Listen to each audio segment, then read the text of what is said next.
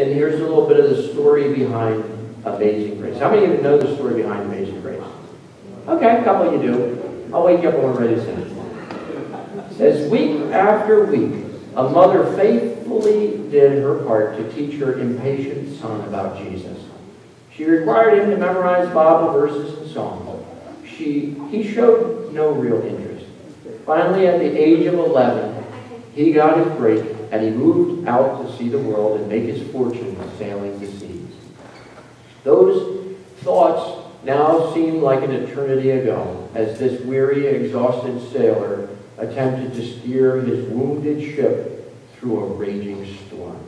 He was too exhausted to help pump seawater with the mechanical pumps below deck, so his crew tied him up top to the helm and left him there to do what he could in the raging storm. The ship's canvas sails were tattered and ripped. The wooden sides of the ship were torn away and splintered. The once impressive ship that had been thrashing about in the North Atlantic storm for uh, 11 days.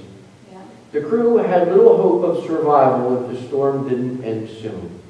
John, secured by the ropes, held the wheel as steady as he could for 11 hours that day, starting at 1 o'clock in the afternoons, a clear testament to his physical abilities.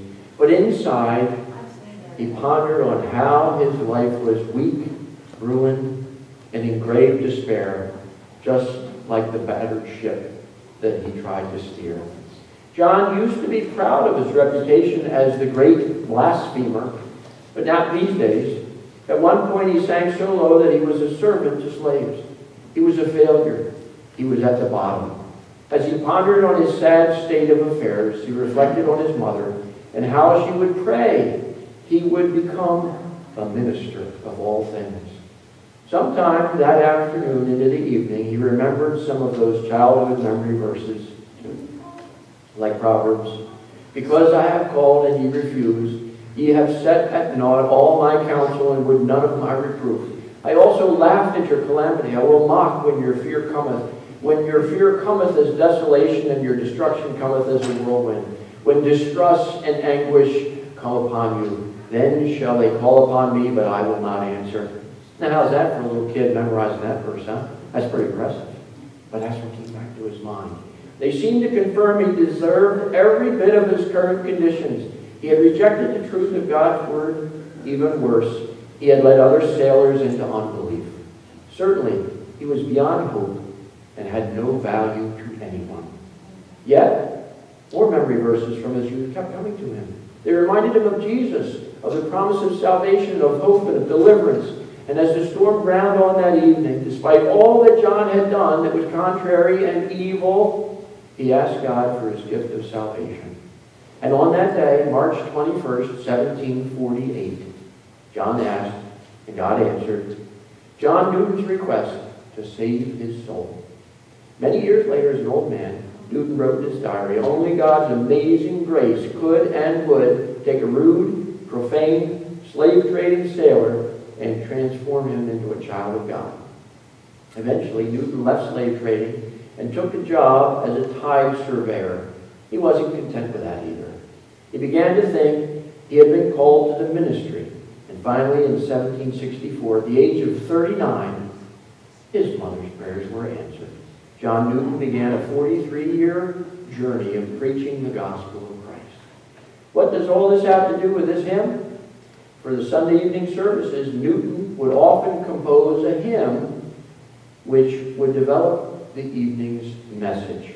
And by 1779, he had 280 of these hymns, and they were combined into the Olney Hymns hymnal. It was named after the little town they lived in. And the most famous of the Olney hymns was Faith's Review and Expectation. It grew out of David's exclamation in First Chronicles. Then King David went in and sat before the Lord and said, Who am I, O Lord God, and what is my house that you have brought me thus far? And this was a small thing in your eyes, O God. You have also spoken of your servant's house for a great while to come, and have shown me future generations, O Lord God. Now we know that hymn, Faith's Review and Expectation, as Amazing Grace. So let's sing, I think there's Five verses. Let's sing five verses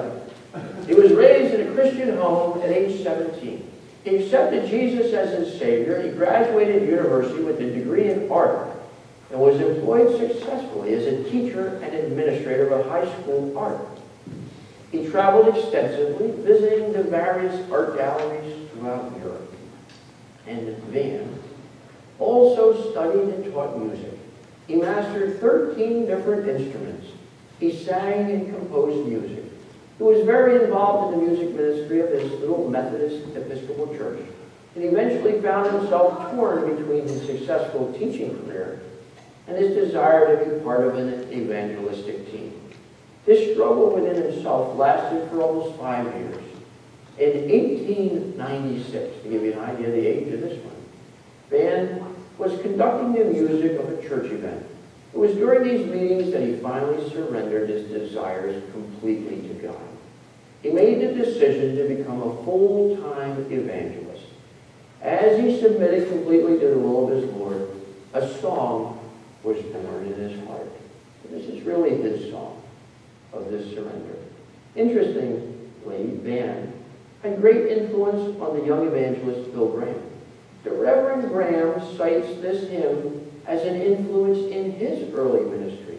One of the evangelists who influenced, this is what he wrote, one of the evangelists who influenced my early preaching was also a hymnist who wrote I Surrender All. The Reverend J.W. Van DeVenter.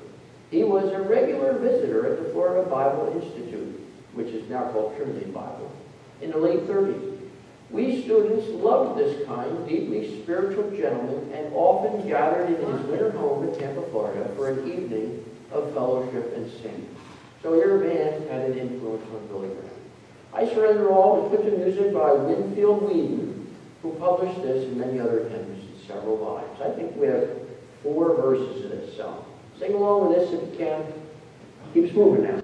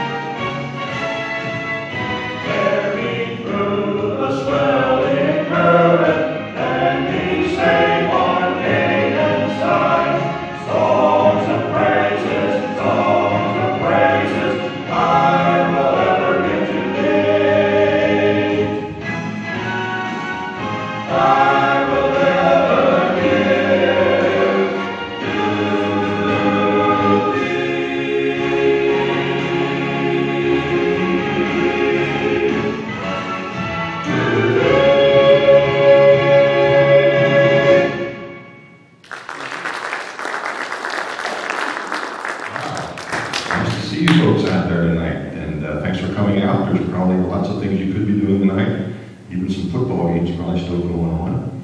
But that's what they make DVRs for, isn't it? So we're going to record them at home and go home and watch them ourselves later tonight. But it's nice to be back up this way. We have a number of occasions we get up to the Lehigh Valley and vicinity during the course of the year, and this is one of the stops, and I think this is our third or fourth time here. And what we like about coming here, first of all, it's always nice to be to go someplace new, but it's also very nice to be asked back to some place that we've been before, because that means that, that we're doing something that's pleasing to you and pleasing to the Lord. So we're glad to have the time of fellowship with you tonight. But we like to come here because we know we're going to hear hymns of the church. And uh, we're of the generation that we miss hymns of the church when they're not sung in services that we go to. A lot of times, the, a lot of times the hymnals never come out of the pew in front of the people. And uh, that's okay. We're not saying anything against the new styles of music because we know what that's aimed for. That's aimed for the next generation. And we got to bring those people in, whatever it does. Whatever does that is, is fine by us. But boy, do we miss the old hymns of the church. So I'm glad that you keep that alive here in your services uh, here in the Sellerstown, uh, Sellersville. Downtown. Downtown. We are brothers in grace. Uh, we've come afar to sing Southern gospel music to you. See, we've come from the deep south. We've come from Hershey. Yes. Southern part. The southern part of Hershey, but uh, I guess people say that makes us uh, the sweetest quartet on earth. Yes. Or half chocolate and half nuts. And you can figure out which of the two down there are the nuts. But uh, it's not about us, it's about singing for him. And uh, we'd like at least to let you know we're standing in front of you. If you don't remember us from years before, that's quite all right. We sometimes forget names up here too. That's Mike Mann on your far left, singing the tenor part since uh, 2005. Dave Tice to his left, singing the lead part since 1999. This is the last of the original members of Brothers In Grace. Ted and uh, Ted Whistler and some other fellows started the quartet back in 1932.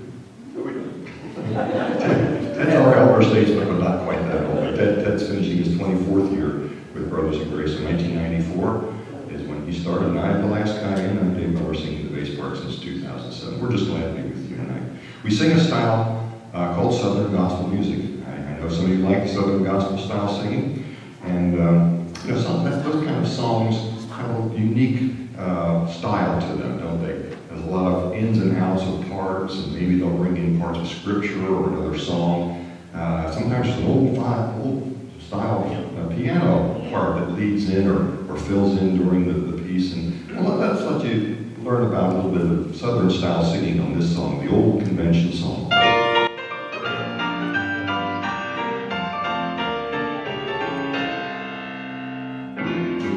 Used to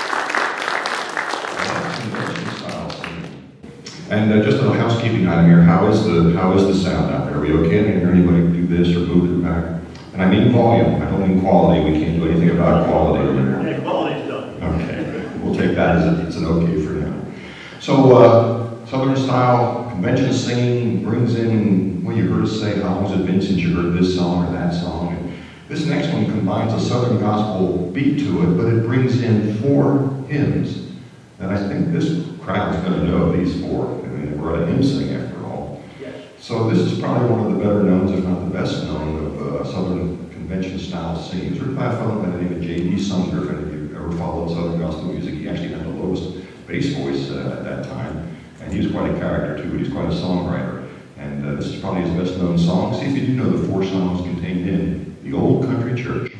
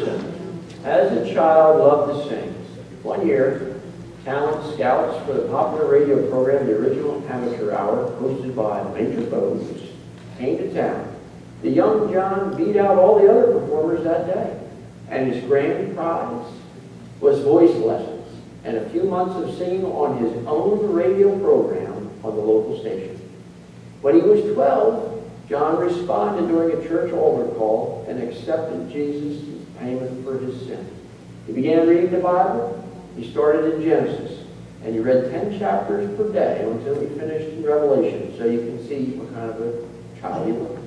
John kept repeating the practice and became well grounded in his understanding of the Bible and its teachings. After high school graduation, John worked for a few jobs and traveled and sang with two of his older brothers. One of them preached, and John received a draft notice in the fall of 1942. He entered the Air Force, and by 1944 he was a pilot of a Curtiss C-46 commando who was stationed in the Burmese jungle. They flew supplies over the China Hump, a nickname for the Himalayan mountains. He had a number of close calls, but God guided him through many perils and brought him safely home. After the war, the GI Bill allowed John to attend Moody Bible Institute. When that would happen today. So to pursue gospel songwriting as a career. He eventually moved his family to Montrose, Pennsylvania, and became a music editor for Singspiration Publishing uh, Company. And he branched out to write both choral music and cantatas. And all John Peterson wrote over a thousand songs and dozens of cantatas. Popular songs included Took a Miracle, Springs of Living Water, No One Understands Like Jesus, Over the Sunset Mountain, and this one. Oh, it's wonderful to meet a Christian. So we've got uh, three verses of this. So everybody stand up so you can get that blood flowing again. And we'll sing through this one. Grab those microphones if you got them Let's sing along.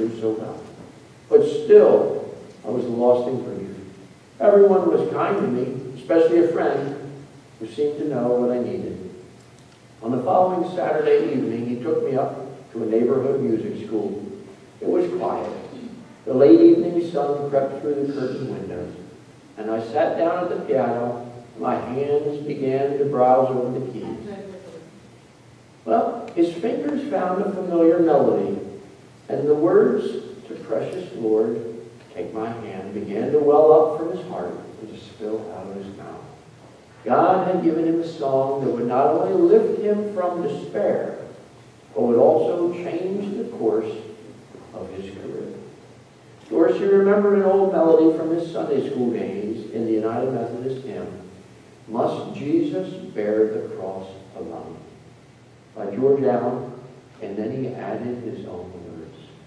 Precious Lord became the most famous of his many gospel songs. He gave the song to Frye, who introduced it to the choir at the Atlanta's Ebenezer Baptist Church the next Sunday. An event that Dorsey later remarked tore up the church. Martin Luther King Jr., or Martin Luther King Sr., was the pastor of Ebenezer at this time, and beginning his ministry there in the year before 1931. So we have three verses to Precious Lord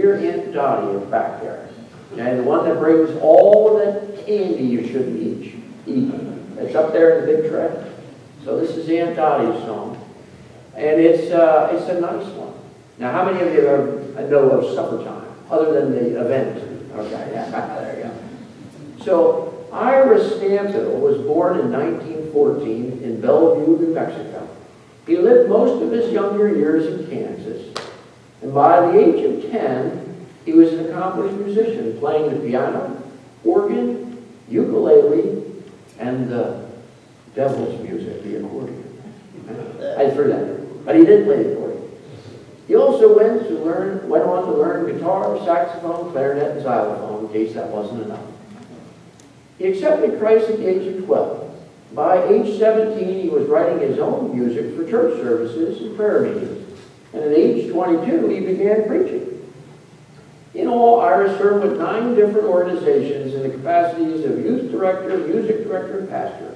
He preached across America and in 40 other countries. He wrote over 500 gospel songs, such as Mansion on the Hilltop, Jesus in Me, we talk it well, talk it over, and happiness is the Lord. Give you some flavorful, flavorful ones. Ira wrote this song in 1950, just two years after his wife divorced him. Whatever the case may be for his wife Zelma's leaving, it put Ira in a great state of depression and grief. Ponder on this vivid imagery as we sing this song.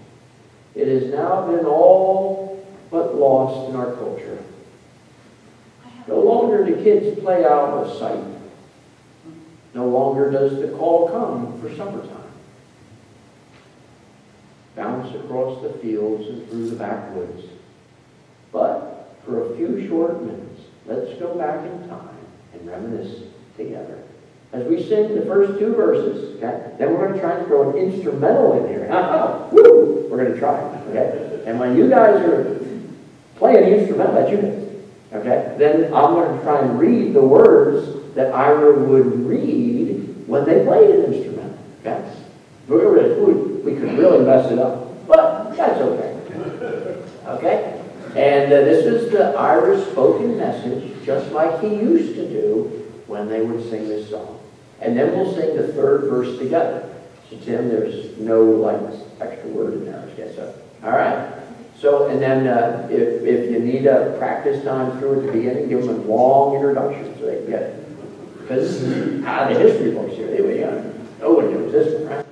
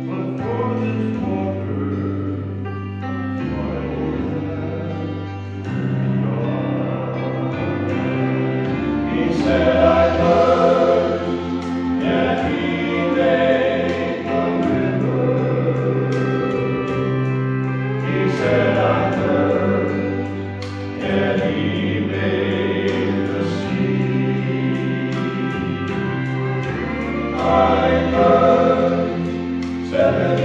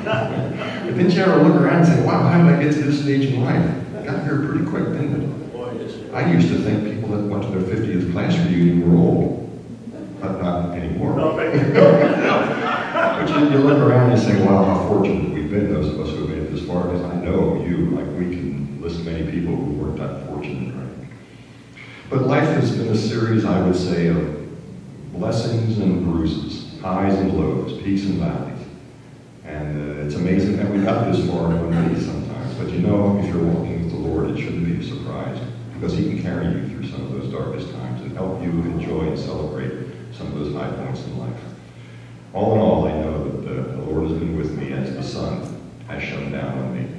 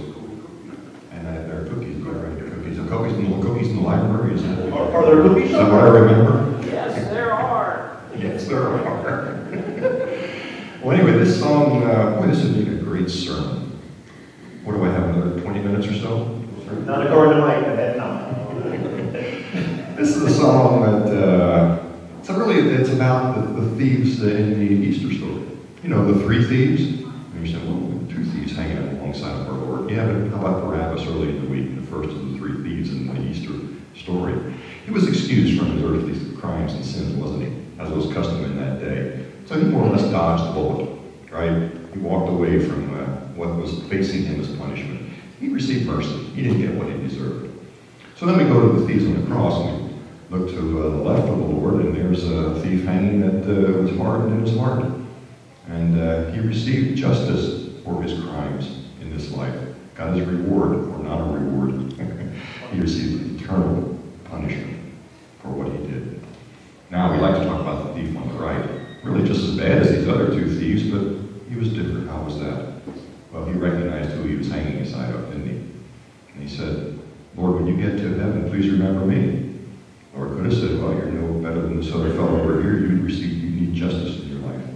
What did the Lord say to him? Today thou be with me in paradise. Not just gives me goosebumps every time I talk about this song and that, that situation. And he received what?